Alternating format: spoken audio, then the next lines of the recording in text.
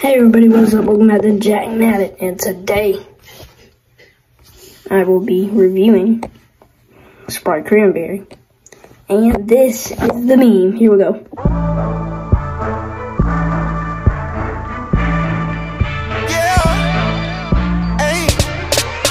It's the thirst, thirstiest time of the year. Yeah. I just one query. Want a Sprite cranberry? Uh-huh. The answer is clear. It's the thirst, thirstiest time of the year. Sprite, let's go. So I was gonna make a video with ginger ale cranberry, which is not the same. It, ta- it looks like this. It's actually red, but yeah, I'm gonna head downstairs and go try it for you. Let's go. Alrighty, guys. So this is what it looks like. Edition. This is my first time trying it. Let's try it. By the way, it is winter spice. So let's just try it.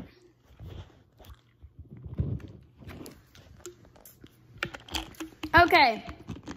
Now I did try the ginger ale cranberry and it sucked. It ain't there as good as the Sprite cranberry drink. It tastes like cherry. It tastes really good. I would definitely recommend it. Notice how it doesn't have any color. It's ginger ale cranberry will actually make you sick if you have a stomach ache. Because it has color.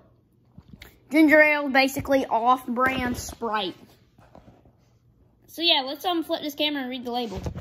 Hey! Let's read what it has to say. Okay, limited edition Sprite Cranberry. Winter spiced cranberry, lemon lime flavored soda with other natural flavors. Here's the nutrient facts if you would like to read that.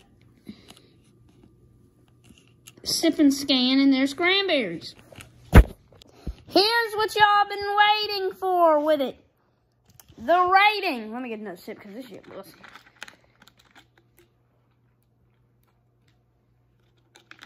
the rating for any limited edition drink ever made. I gotta give Sprite Cranberry.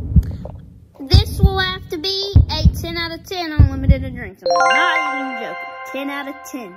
Tastes more wintery and it has a good clout for the little brown drinks. So yeah, thank you for watching. Make sure you leave a like and peace out. Bye.